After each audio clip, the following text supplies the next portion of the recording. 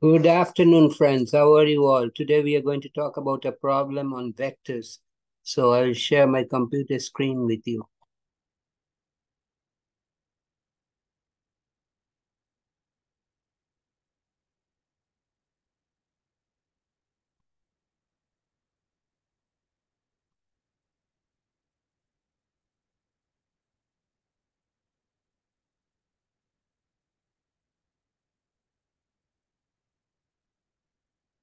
There's a plane flies at an airspeed, speed in still air of 500 miles per hour on a bearing of north 35 degree east. That means it's flying north, but at an angle of 35 degree to the east.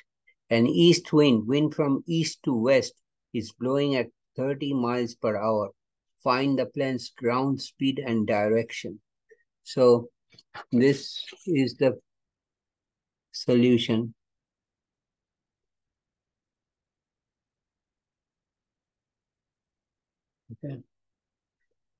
So if we take this, uh, let's uh, draw a diagram like this.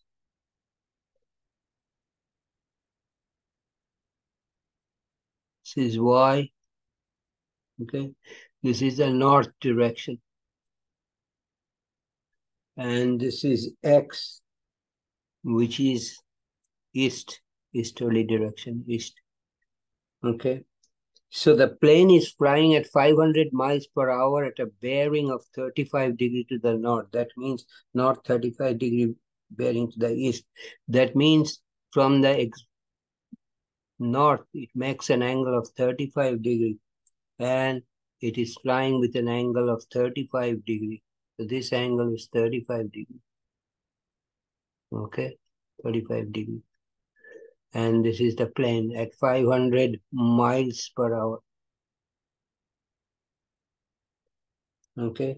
Now remember there is a wind that is blowing from east to west at 300 miles per hour. So this is the wind blowing at 300 miles per hour. Miles per hour. 300. Okay. So this is the wind So let's first get the x component of the plane speed. So x component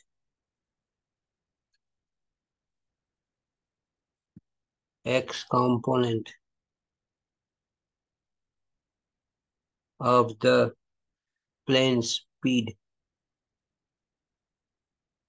plane speed is 500 times cosine of the complement angle is 90 minus 35 or 500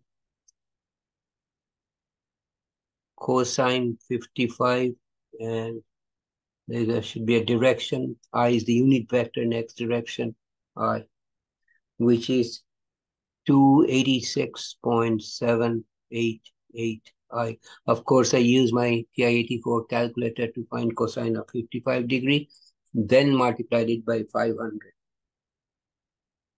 Now remember the wind is flowing from east to west. So x component of the wind speed of the wind speed is equal to the wind is blowing at, sorry, not 300. I made a mistake here. I got to correct myself. This is uh, 30 miles per hour.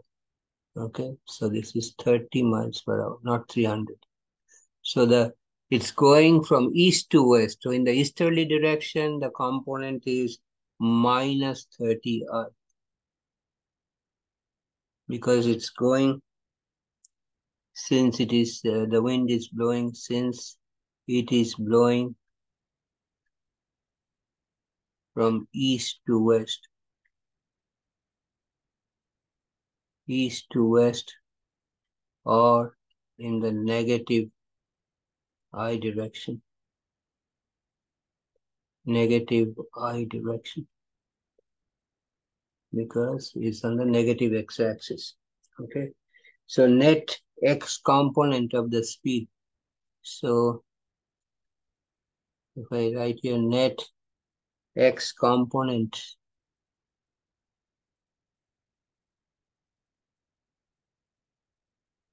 okay of uh, next x component speed is 286.788 i minus 30 i which is 256.788 i okay? And then we need to do the y component. So give some space. So y component y component of the plane speed of the plane's speed is 500 times sine of 90 minus 35 i or 500 sine 55 i which is um, 409.57 409.576 so it should be j right? It's in the y component not i. My mistake. This is j. And this is j. Because it's in the positive y direction. 409.57 j. Okay? So hence the net hence the plane's net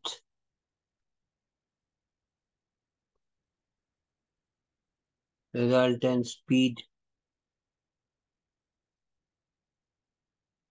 magnitude. Sorry not milligram so magnitude.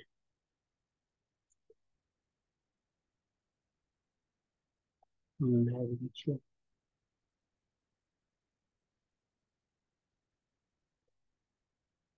Is equal to square root of the x com I mean square root of the x square I mean square root of sum of the squares of two components the x component and the y component. So the x component is 256.785 square of that plus the y component is 409.57 square of that. Okay and that works out to with my calculator is 483.02 okay? So if I create some more space. Okay? So now we have to find the angle that the plane makes with the positive x-axis. The angle that the main that the plane makes with the positive x-axis. Positive x-axis is tangent of inverse tangent. Okay so we're trying to find the angle. It is the y component divided by the x component so 409.57 divided by 256.785. Okay.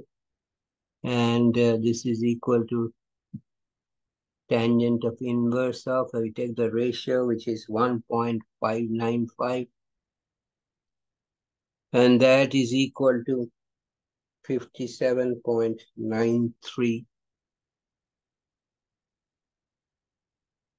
Now this is this is the angle of the plane with the x-axis. So with the y-axis, so with the y-axis, the plane makes an angle of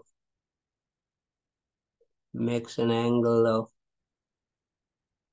angle of 90 minus 57.93, which is 32.09 degrees. So if I create some space, hence the plane's bearing will be